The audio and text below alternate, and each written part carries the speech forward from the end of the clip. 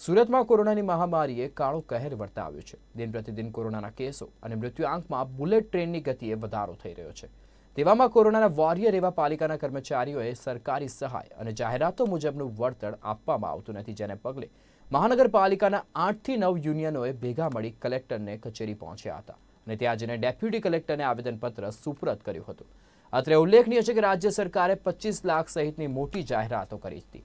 મહાનગરપાલિકામાં વારંવાર રજૂઆતો કરવામાં આવી હોવા છતાં પણ કર્મચારીઓને સહાય આપવામાં આવતી નથી.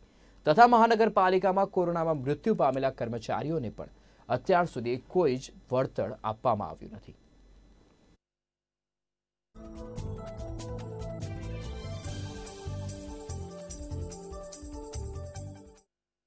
આજ રોજ અમે કલેક્ટર સાહેબને એક આવેદનપત્ર આપ્યું છે.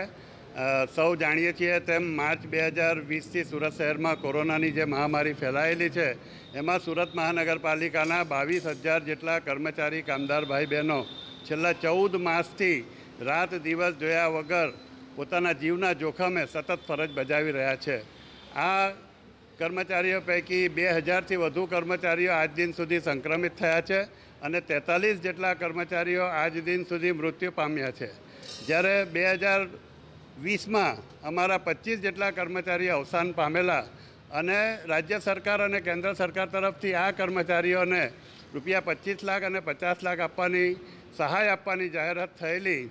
પરંતુ પચીસ પૈકી માત્ર ચાર જ કર્મચારીઓને આજ દિન સુધી સહાય આપવામાં આવી છે. હજી એકવીસ કર્મચારીઓને આ સહાય આપવામાં આવી નથી. જેથી આજરોજ અમે એક આવેદનપત્ર માનનીય વડાપ્રધાનશ્રી અને માનનીય મુખ્યમંત્રીશ્રી ગુજરાત સરકારને કલેક્ટરશ્રી સુરત મારફત અમે મોકલેલ છે.